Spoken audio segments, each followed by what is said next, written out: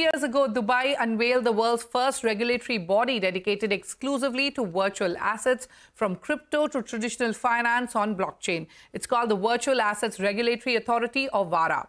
How has the government body brought emerging players in the sector to the negotiating table to foster innovation while managing risk? My colleague Aishwarya Anand finds out from VARA's managing director Deepa Raja Carbon on the sidelines of GITEX Global. Take a look. So I would say two years ago when we were set up, two and a half years coming up on, right, it was a different world. We were in a place where crypto was very native crypto only.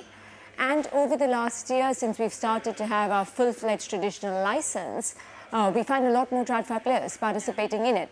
So what used to be a bringing people to the negotiating table, as you rightly put it, has changed dramatically. People want to be regulated, right? People want to be in a place where there is a credibility attached to them being regulated and being able to participate in this industry and service a global audience yeah. at that. So that's been a huge shift for us. When you're uh, thinking of giving the license to a particular company, yeah. what are the parameters that you look at? Mm. And, uh, you know, I mean, of course, like by, uh, Binance is like the latest example who's gotten the chance to re-enter Dubai. So uh, help us understand, like, I mean, what is the advice that you give to founders who want to get a license from VARA? Yeah. And, I mean, what are the parameters that you work on? Uh, so we have a fairly comprehensive regulatory book, right, which we had put together over the last couple of years. It came into full play before our full-fledged licenses started to get issued. It is not necessarily a derivative of TradFi. It's quite customized for the DeFi world, but certainly based off TradFi principles, yeah. right? And as a consequence, you're in a place where you start to understand that the audience that's talking to you has not only made itself aware of the rules before they come in for those dialogues, but you're also seeing a lot more advisory bodies. But the second part of it is a few bad actors do not spoil the name of an industry. It's been in existence for well over two decades now, right? The blockchain ecosystem has been around for a long time. In fact, the Indian market has done phenomenally well in, uh, in having your GIFT City. You've, uh, obviously had huge amounts of investment that have been made in, in breeding that talent, inculcating that talent.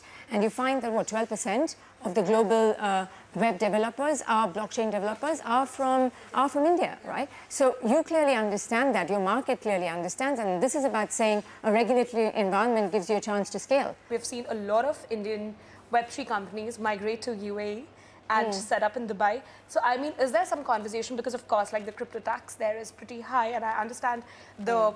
benefits that Dubai provides to them. But, I mean, are you in talks with the government to work together on something? And since you've provided the license to a lot of global crypto co companies, uh, are there any particular Indian companies that you're in talks with that you're mm. excited about? Mm, mm.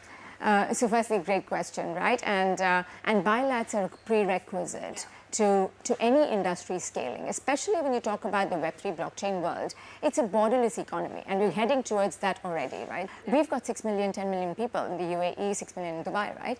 And that is not a large enough population base for you to build, build an industry around. But that's, that's always been part yeah. of our DNA. We create industries to become the hub for the wider region, the super region, India is included, the subcontinent, of course, and the rest of the world. So for that, you basically need the credibility of that government to feel that it's a risk they're willing to undertake to cater to their market. Up until such time as the Indian market has developed a set of very customized rules for this industry to cater specifically for the Indian market, and this applies to the rest of the world, it's not India specific, right?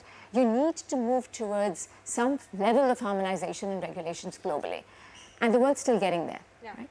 And that's essentially the conversation we're having with a whole bunch of regulators, India being one. We've had, I mean, the CEPA was signed, the, the Comprehensive uh, Economic Partnership Agreement about two years ago. And since then, um, the relationship, trade uh, relationships with India have absolutely skyrocketed. It was always great, and now it's just moved from being number three to number one as far as trade partnership is concerned, which is phenomenally good. And this is not just for traditional finance trade and commodities trade, right? It's very much about talent UAE wants uh, to like you know create 40,000 virtual asset jobs by the end of 2030. Mm -hmm. But what's the balancing act between regulation and fostering innovation, and how is VARA driving that?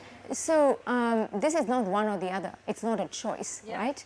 It has to happen together. Yeah. Absolutely must. Innovation only comes when there is regulation. You've seen the world of crypto. Absolutely go through. Let's not bother. They're not going to be there anyway. And It's it's, just roller coaster ride, absolutely. yeah. It's been a roller coaster. But what's phenomenal is the fact that the industry has actually come back and how, right? Not just in the rest of the world, but also in India. So I do think that in, in the context of the UAE wanting to create X thousand jobs, X hundred thousand jobs, even the coders visa, the golden visa program, the talent program that we have created is for entities to understand that regulation helps you actually gain credibility and get there faster.